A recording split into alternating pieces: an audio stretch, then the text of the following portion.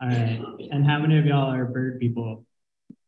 Oh, it's about, about even. So, um, and I think a bunch of y'all raised your hands for both, which is great because what I was hoping to do was if there were some people who were mushroom people and some people who are bird people, hopefully after this conversation, you're you're into both.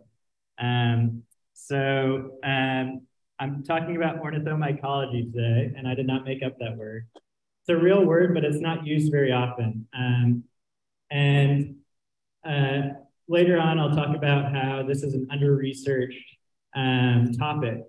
And a lot of the research is coming out of you know the last 10 years or so. Um, but I think what we're going to find as we continue to do some of this research is that there's more and more bird interactions with fungi than we than we realize. Um, and so, uh, just to start things off in a kind of fun way, I wanted to talk about fungi that um, it's working.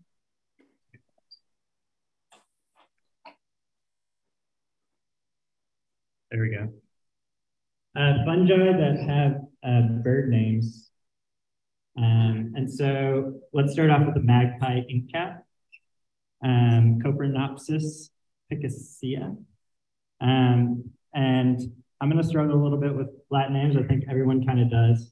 Uh, Alan Rockefeller, who's a, a, mycologist, he says the only way, the only correct way to say a scientific name is quickly and with confidence. Um, because Latin is a dead language and, and it doesn't really matter. Nobody's going to correct you if you're wrong, or they might, but uh, they're probably just as wrong as you are. Um, so anyway, the magpie ink cap is named so because of its colors, right? It's black and white uh, on that cat. Um, it's saprobic. Uh, does anyone not know what saprobic means? All right, good number of y'all. I'm going to do that every now and then because I'm talking to some mushroom people, I'm talking to some bird people, and I want to make sure that I define things y'all. Um, saprobic means that it's a decomposer. And so you'll find these, these in wood chips usually, um, maybe in, in leaf litter. Um, and that's, that's where you're gonna see these. Um, and then their, their cap and gills, deliquesce. Um, and deliquesce uh, is a term for liquefying basically. So these things sprout up usually uh, overnight, really quickly. And then within the morning hours, they're usually uh, turning into liquid. Um, and so those caps and gills will just kind of liquefy. Um, uh, and then things might actually spread those spores in that liquid. So, you know, an animal walks by, it steps on that liquid, and it keeps walking down an area. It might track those spores elsewhere. Flies might move them, move them around, things like that.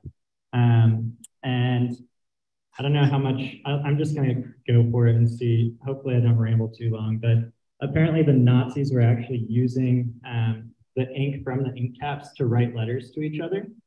And this was a way that they could verify that letters were, were coming from other Nazis and not from saboteurs who were trying to sneak letters to them. So um, whenever they got a letter from someone who they weren't sure if it was actually them, they would have to look at the ink under a microscope and see if they could see those spores. And then they knew it was from uh, you know, uh, another uh, Nazi.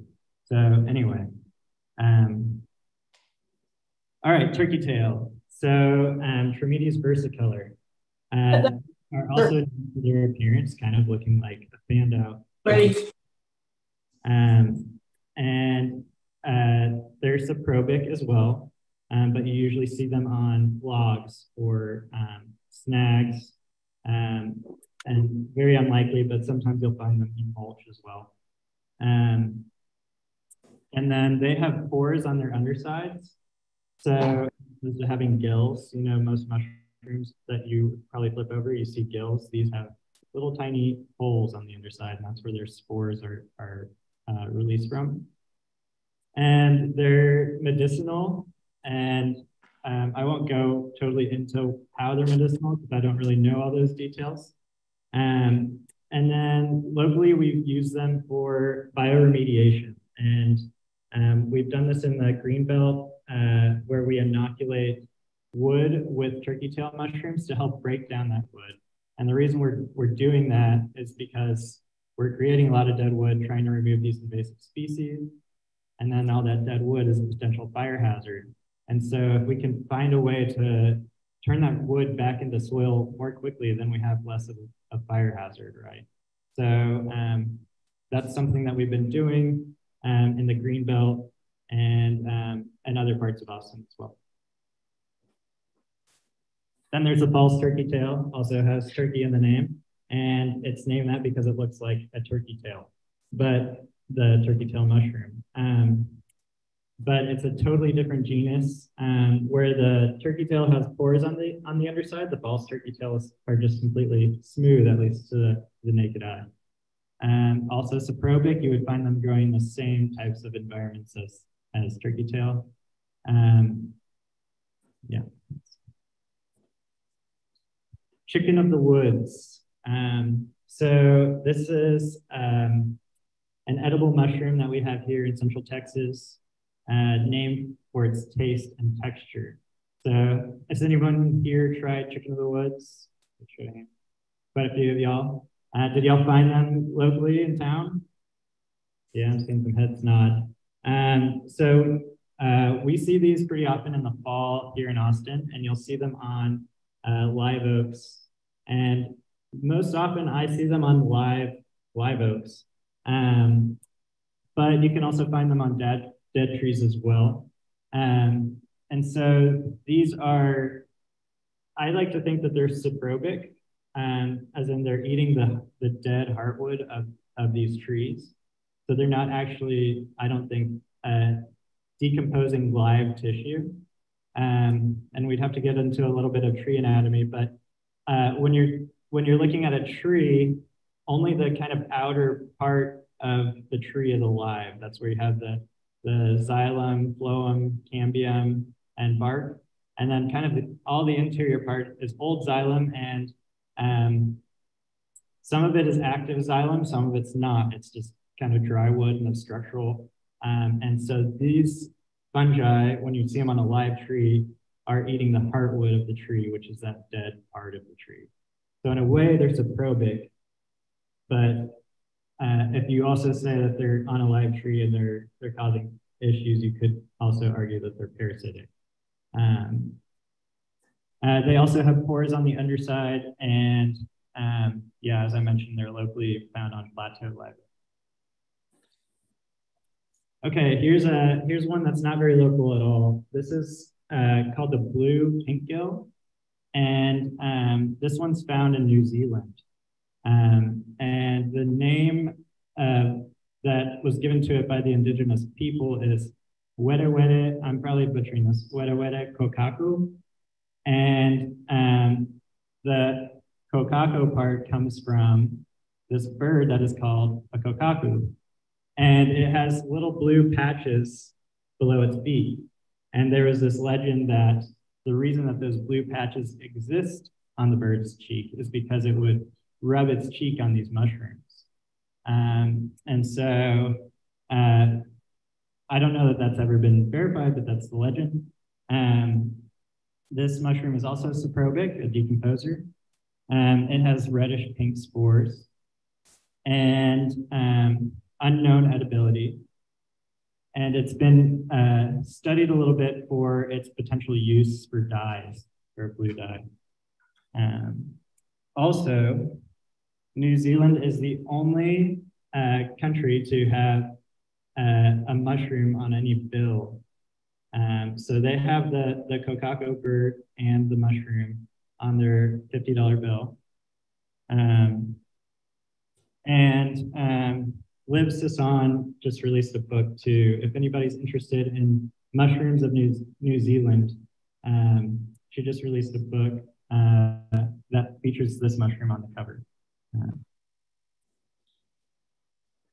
and just to jump through a few others so we don't spend forever on this, we got hen of the woods, the parrot wax cap or parrot mushroom, uh, dryad saddle, which is also called the pheasant's back, and the chicken fat mushroom, um, not to be confused with chicken of the woods. All right, so there's also mushrooms that have egg stages. Um, amanitas have an egg stage. Um, and these are, this is a whole genus of, of mushrooms. Um, these are mushrooms that have gills, and um, some are edible, some are deadly. Um, maybe you've heard of the destroying angel. That's what got angel into, into mycology in the first place. Um, and uh, they're mycorrhizal, so they're ectomycorrhizal, and that who doesn't know what mycorrhizal? All right, we got some hands. All right, so mycorrhizal means that it forms relationships with trees. Um, it's a form of mutualism where the uh, mushrooms help the tree uh, absorb water, nutrients, things like that. And then the trees provide some sugars and things to the mushrooms as well. Oh. Um, so let's see. Another mushroom that has an egg stage are the stinkhorns. So um, Nicole saw a stinkhorn recently. Um, and so these start out in kind of a white egg-like stage as well. Um, and this is a whole family of mushrooms. The family is called Phallaceae. Um, if you've seen a lot of stinkhorns, you know why it's called Phallaceae. Um, so there's some very phallic uh, mushrooms there. Um, and they're saprobic as well. You'll find them in mulch typically or dense leaf litter. Um, and they've got these uh, this brown labia. I don't know if you can see it in that columnar stinkhorn, but there's some brown kind of in the interior, this like dewy brown looking stuff. And that's called glebia. And that's this kind of liquid that contains the spores. And the mushrooms smell really bad too. They smell funky. Um, depending, uh, Johnny, I think you kind of like the smell. Is that right? and, and, maybe there's some debate as to whether they, they smell good or bad. But um, uh, so anyway, flies are attracted to it, beetles, maybe some other things, and they'll land on that glebia. And then they also, you know, fly around, they land on, on other mulchy areas and they deposit those spores, and then you start having stinkhorns pop up elsewhere. So um, that's a way that they get their spores dispersed. And then uh, we have bird's nest fungi, um, Nidulariaceae. These are, this is a whole family of fungi as well. Um, and uh, they resemble a nest and eggs.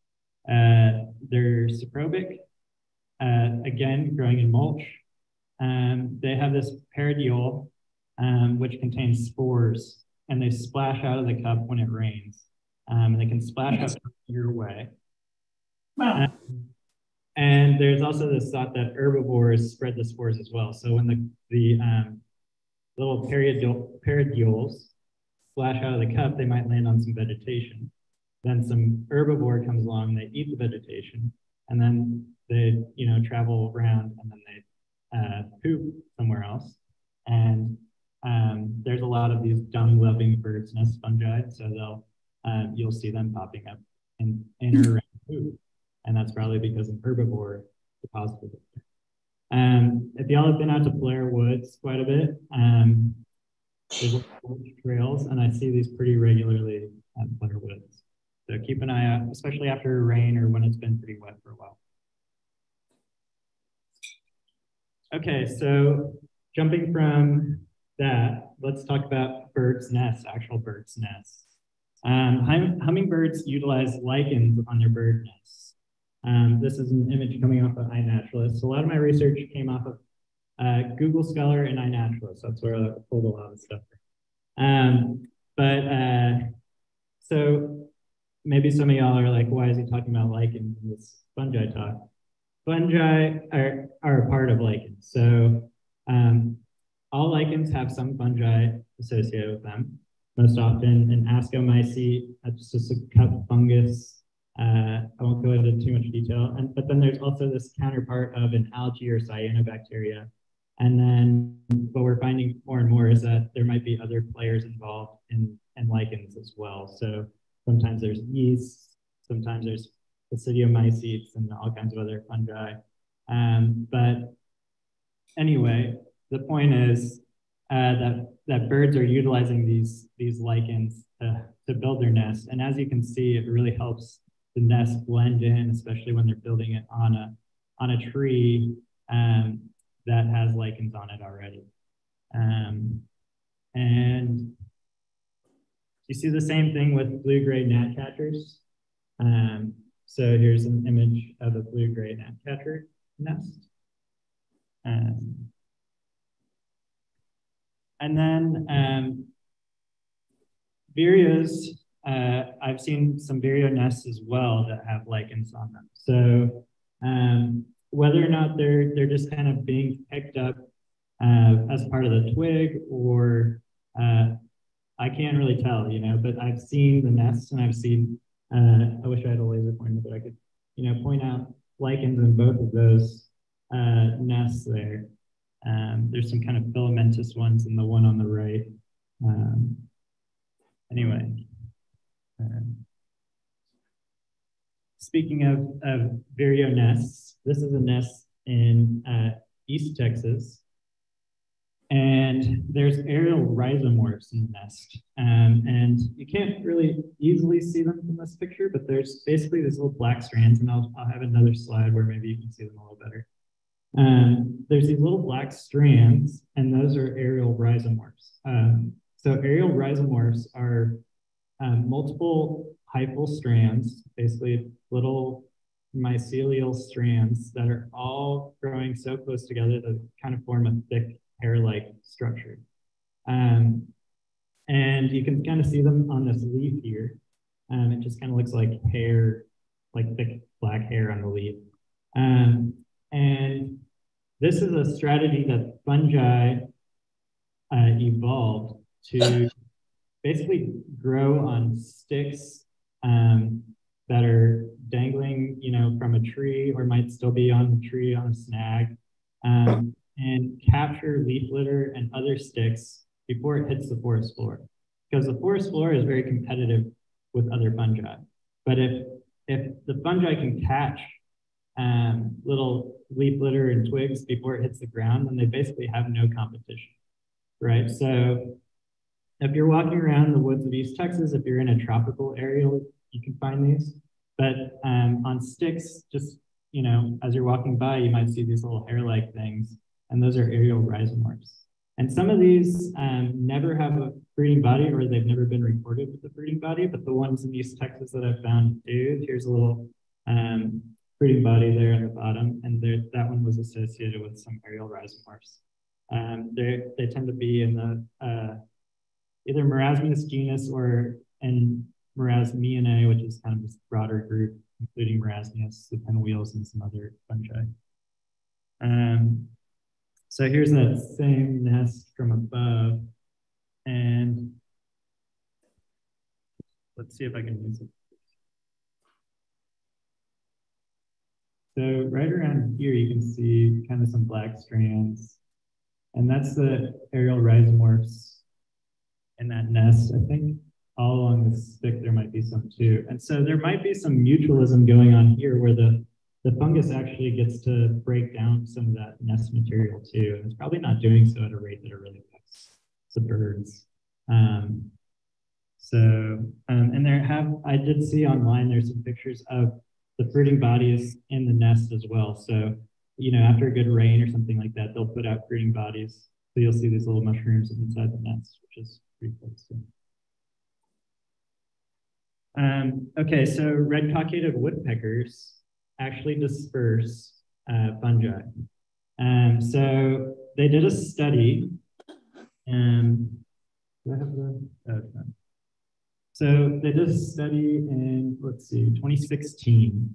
Um, and basically they were swabbing red cockaded woodpeckers and they realized that they had this whole slew of fungi on their feathers.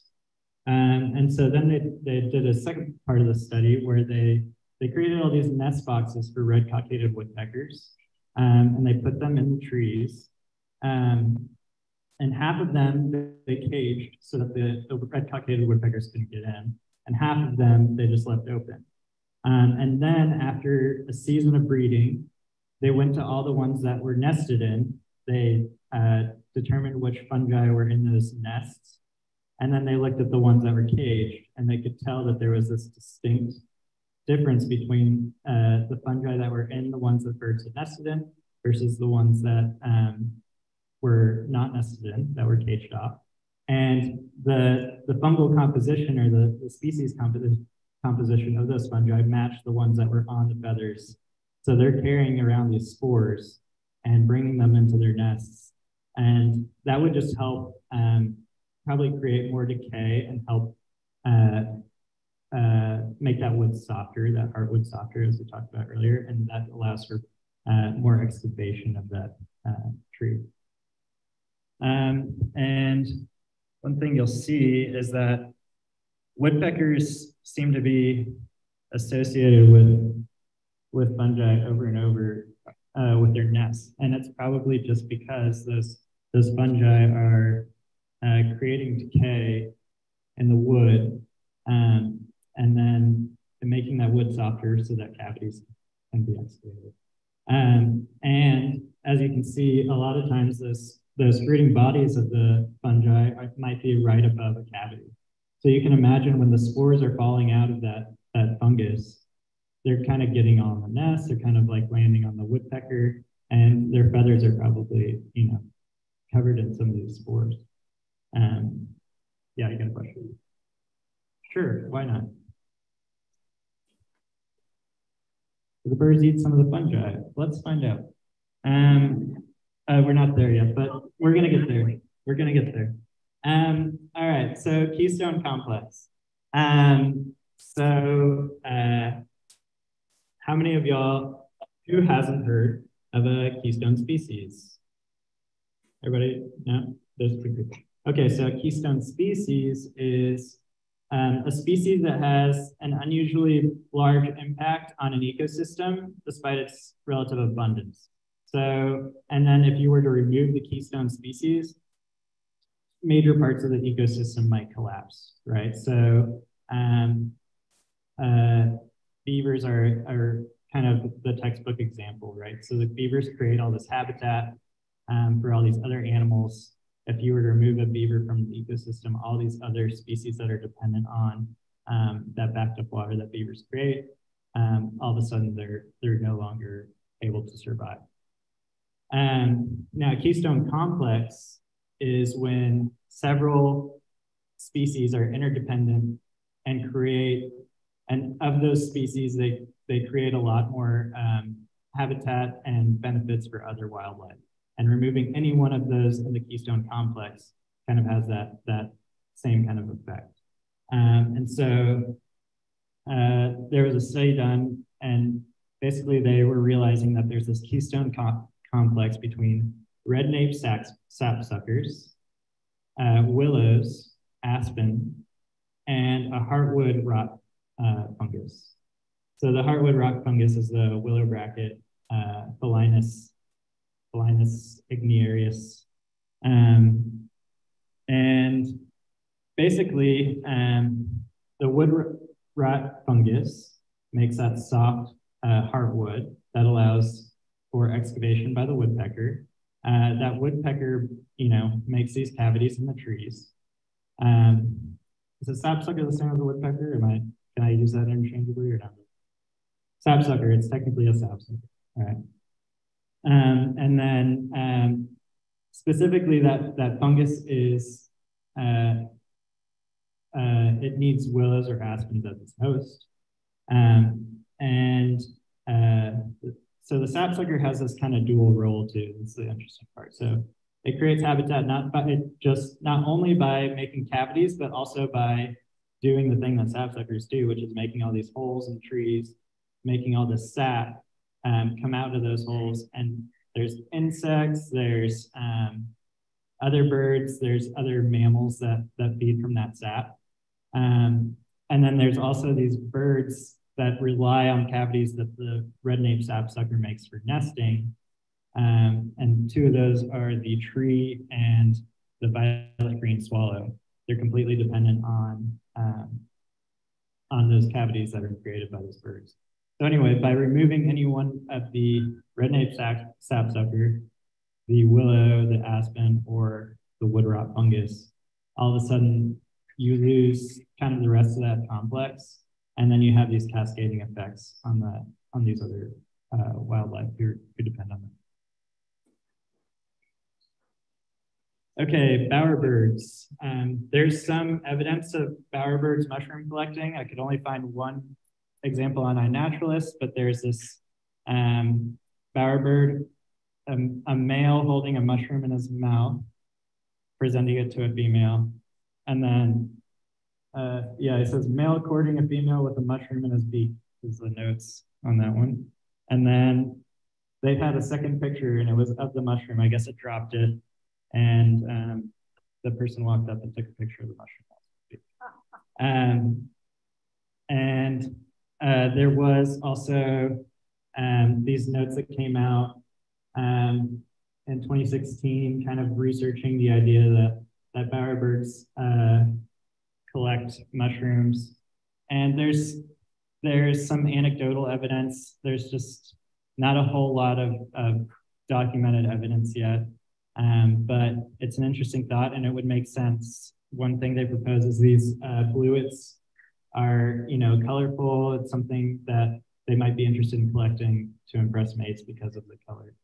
Um, and so something that could be further studied and, and perhaps, um, you know, some interesting interactions could be uh, found there. Um, eating mushrooms, here we go, or insects associated with mushrooms. What you'll see is on iNaturalist, there's plenty of observations of birds uh, either eating mushrooms or eating insects off of mushrooms. So downy woodpecker, Carolina chickadee, Canada jay. Um, and then somebody talked about seeing some wild turkeys kind of rummaging through some mushrooms and it's kind of the after after um, the damage of, of the turkeys. Um,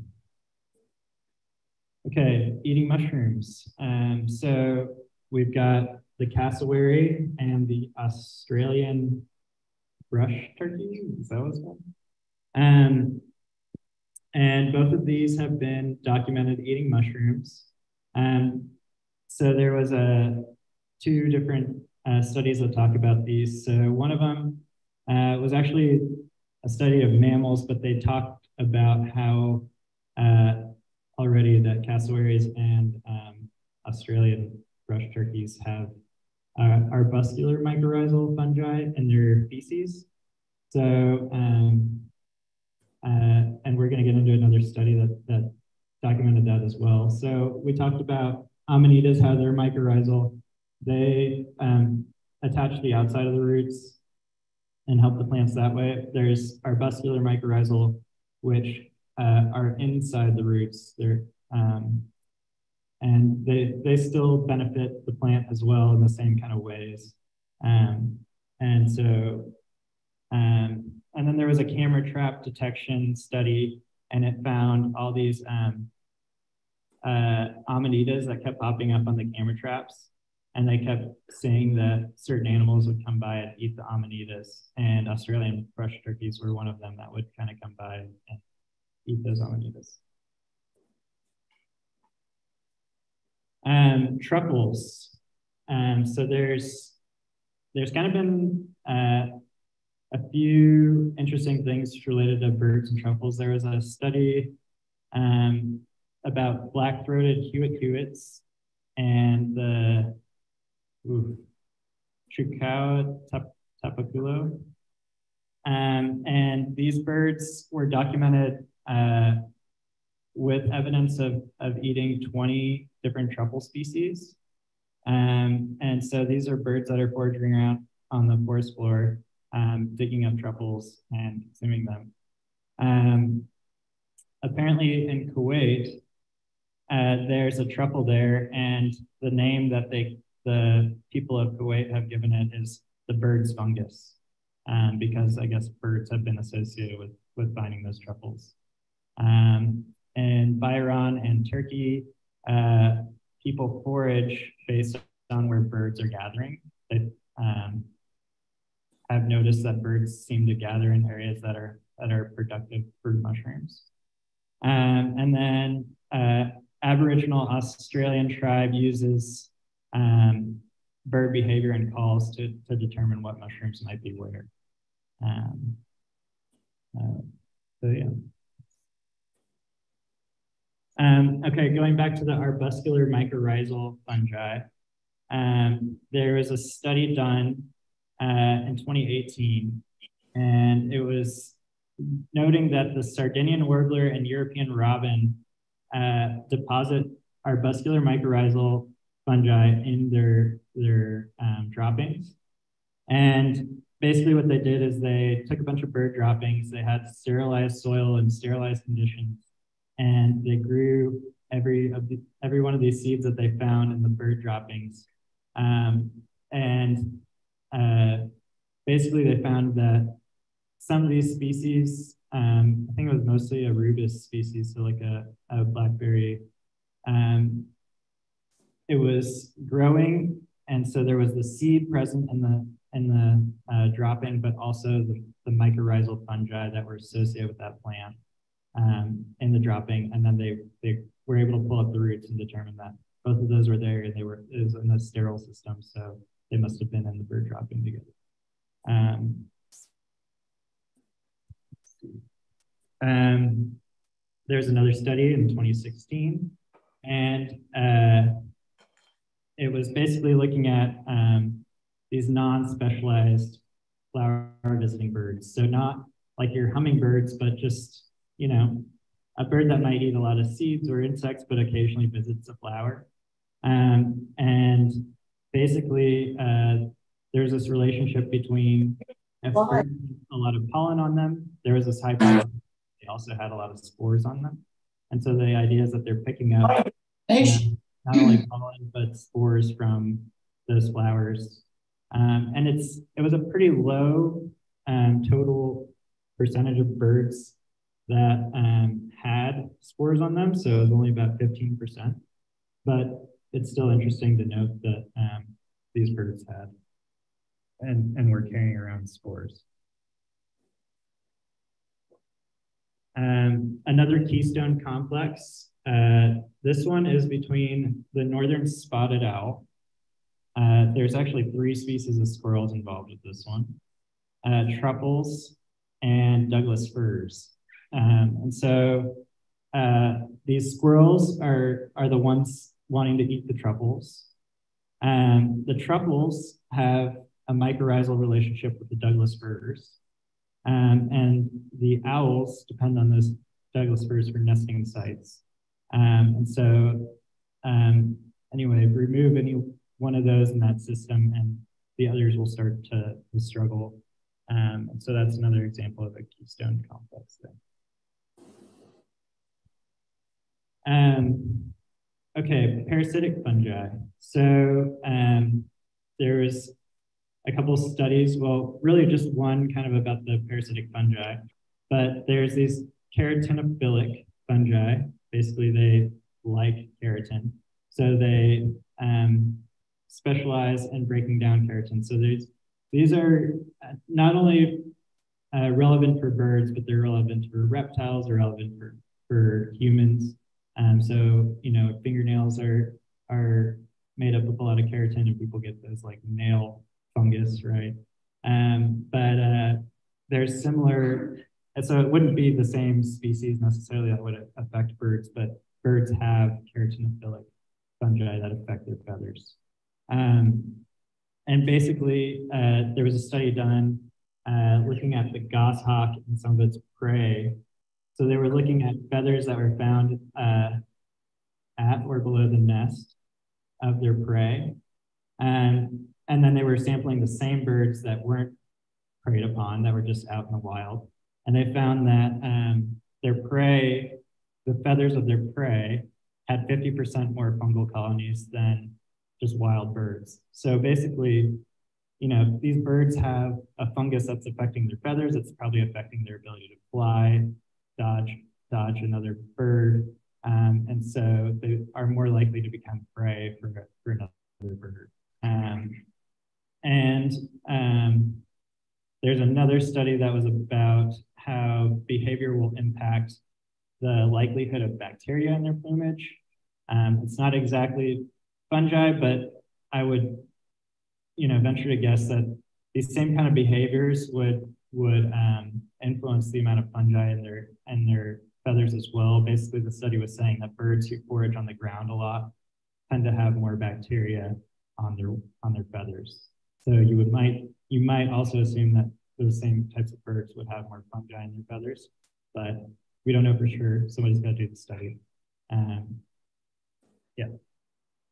And then um, getting hihis. So there's this little bird called a hihi um, in New Zealand. And um, so it's it's a pretty rare bird only because um, we've introduced all these mammals to New Zealand that are, you know, having this huge detriment to a lot of birds. Um, and uh, so these birds are in a, a, a, sanctuary, and there was a group of young, kind of fledgling birds, and they supposedly were kind of experimenting with new foods, and they they just tried eating some little mushrooms, and they started like kind of acting goofy, spasming, and uh, acting really strange, but they were all fine. None of them got really sick or anything. Um, but it was just a little like teenage experimentation. Um, and they were reportedly tripping, but everything's good. So, um, um, okay, well, we're going to start wrapping things up here. Um, just to conclude, ornithomycology is an understudied field of science. Um, I included dates with all these. I forgot to mention it every time, but um, there's a lot of uh, recent research um, on this, and hopefully it continues to grow. Um, and we'll see more interesting interactions going forward.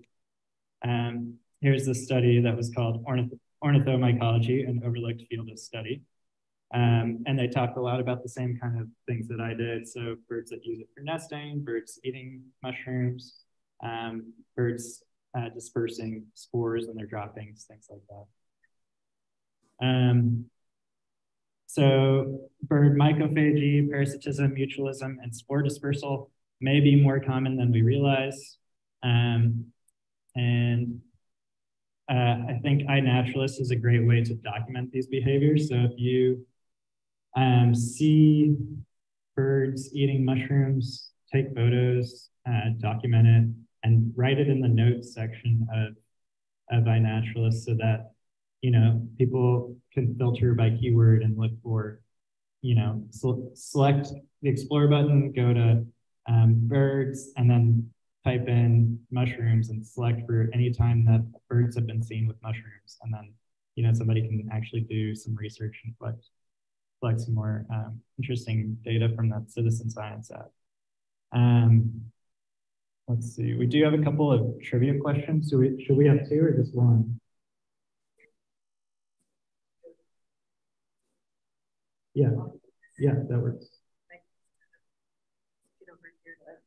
Okay, so we're gonna do one for we're gonna do one in-person trivia question, and we're gonna do one online. We'll do the in-person one first. Should I go ahead with that?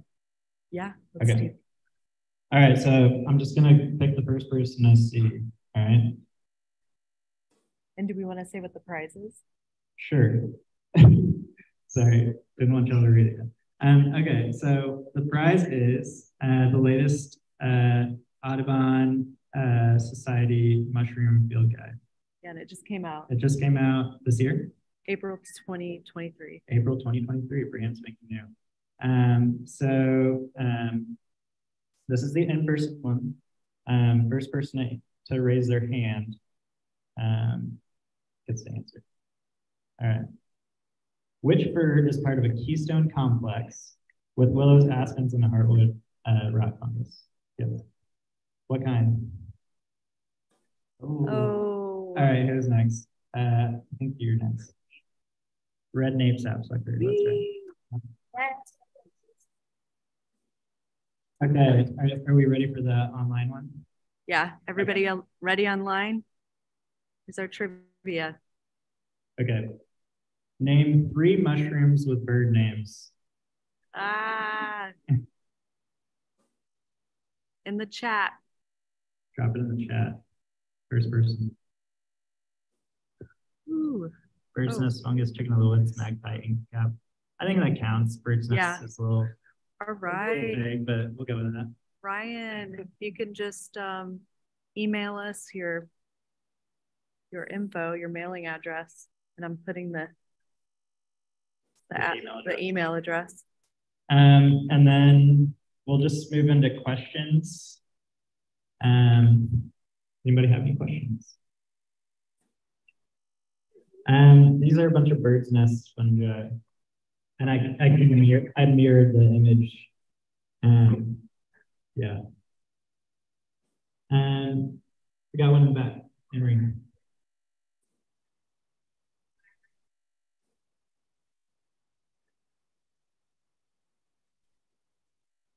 That's a good question. Um, and I don't know if I fully have the answer to that. Do you?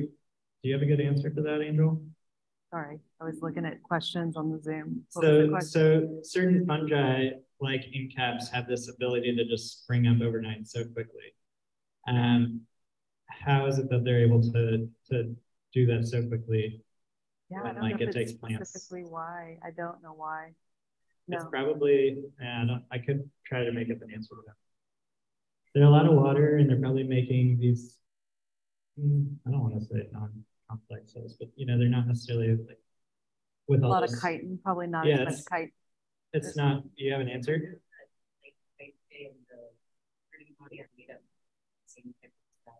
Mhm. Okay. So his answer was that the the um they're being inflated with water. Um so they start out, you know, they're not necessarily making new cells, they're just being inflated with water. Any other questions?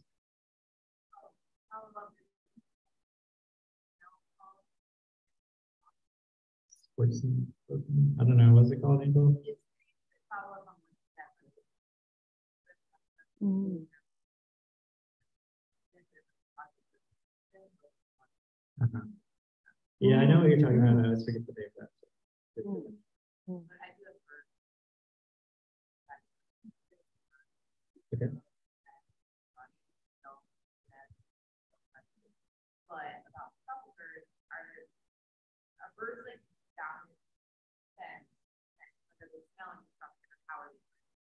Um, I would assume smell because truffles are known for for having a scent, and they're usually um, underground. So, you know, uh, a visual cue isn't going to be necessarily that that helpful for finding truffles.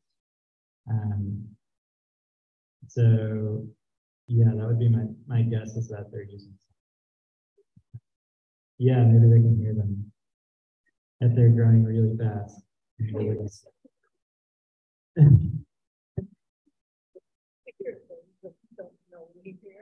Yeah. Yes, Chris.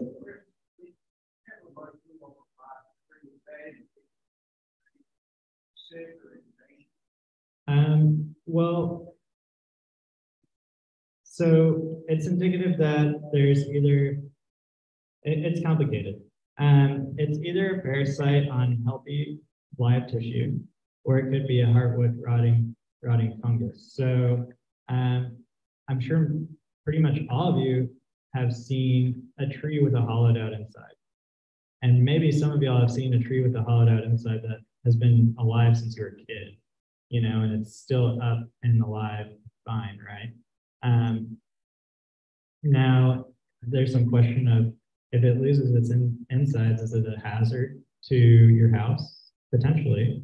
Um, but if it's in the middle of the woods, it might stay alive for 50, 70 more years. So, um, so um, I guess that that's to say you have to kind of ID the mushroom, have an idea of is this a parasitic one on live tissue? Is this one that's eating just dead heartwood fungus or heartwood? Sorry, and then make, a decision from there if it's in your yard, like maybe call an arborist and have them assess your tree as to structural damage. And of course, make sure you trust your arborist too because they might be trying to make a buck and just want to cut tree.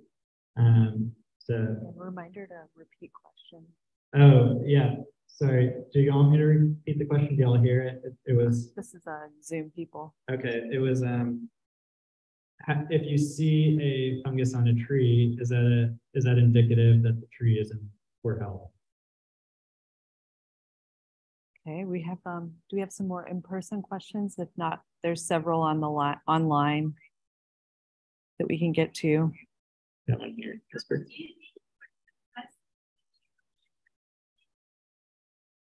Um, I wouldn't be surprised if there's some differences in, in what's toxic to us versus what's toxic to them. Um, but uh, I don't know enough details to, to say exactly. Um, but I would guess that there are some differences. Some birds are probably um, able to eat certain ones that are toxic to us that are not toxic. Okay, I got so, online question. yeah, so, um, Karen asks, have you thought to expand your work into lichens too? As in just researching this into lichens a little bit more. Mhm. Um, yeah, I probably should have done a little more digging on, on the lichen side. Um, you know, I brought up the bird's nests that utilize lichens, but um, I didn't uh, research much more than that. So yeah, that's that's an interesting way I might be able to add a few more slides if I can find some some interesting stuff there. Okay, So Anne asks, what is the source of the ink cap letter story?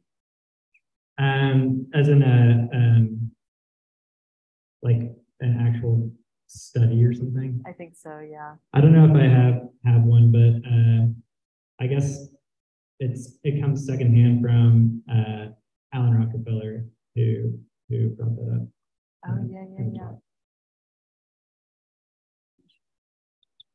Any other questions? Yeah, there's like four or five more. Um. So James asks, how is the edibility of a mushroom determined and the status of the edibility if the edibility is unknown? That's a confusing question for me. Uh, I guess the question is, how do you determine the edibility of a mushroom? That's- And at, at what point do you just say, uh, it's unknown? Um, uh, I guess if it's if it hasn't really been tried, then it's unknown. Um, and and I think people have different methods for for determining edibility. I think um, Yeah. there were some people in East Texas that, that I met like foraging who who were interested in um, trying to determine edibility. So they would just you know try tiny bits of mushrooms and determine, determine if it made them feel kind of sick or not, and if it didn't, maybe they try a little more.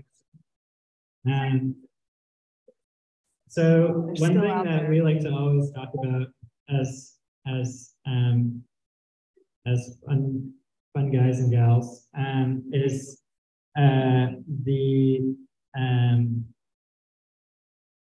the fact that you can't really get sick from just handling mushrooms so feel free to touch mushrooms all you want. Um you also can uh chew on mushrooms and i'm not advocating that everyone do, does this but you can chew on poisonous mushrooms get kind of tasting notes and then spit it out and you're not going to get sick. Um, and so, um, That's what a lot of mycologists. yeah, famous mycologists will do it. Um, When they're like narrowing things down. yeah, just to, you know, if, if they might try something and be like, oh, this is peppery. This is this species of Lactarius or whatever. So, um, yeah. Okay, so uh, Talit asks, so what percentage of birds do you imagine have a relationship with fungi? Is it most, a few, or somewhat in between?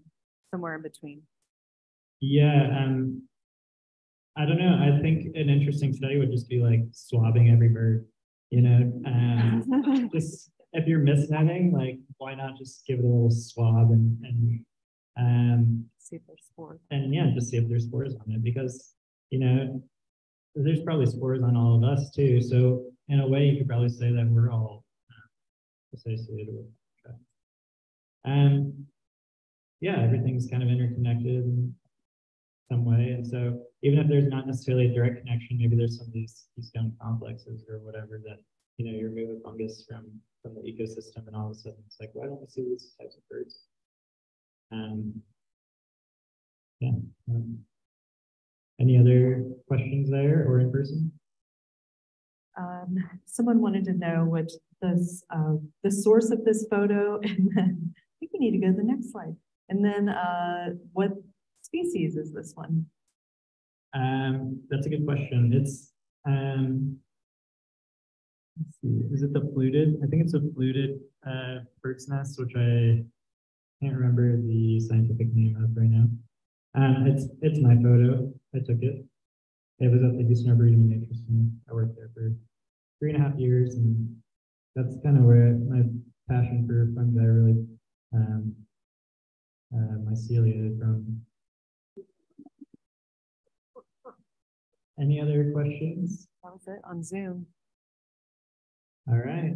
Um, did you want to make the announcement? Oh, you yeah, wanna- yeah. You kind of talked about it We just, already, uh, but Yeah, we talked about it a little bit already, but our next uh, month's uh, meetup will be at Annie's Day and Night on Riverside. And we're gonna be doing our mobile lab kick kickoff, so get our emails, look out for a sign up, um, and we're gonna have kind of a ideation uh, uh, exercise leading up to the event where people can use AI art, draw uh, their ideas for the mobile lab with ink cap, uh, ink cap ink or however, however, uh, low tech or high tech you want to go. So, uh, just share ideas with us online and then we're going to meet up and, and do more ideation together for this grand mobile lab. But this was a fun one that I made. I, I forget which art AI thing I used, but I thought it was cute. All right, thanks, Chris, everybody.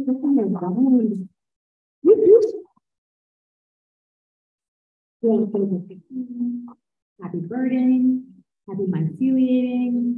Travis Audubon, we take a break for the summer, so we will see you at our next speaker series in September.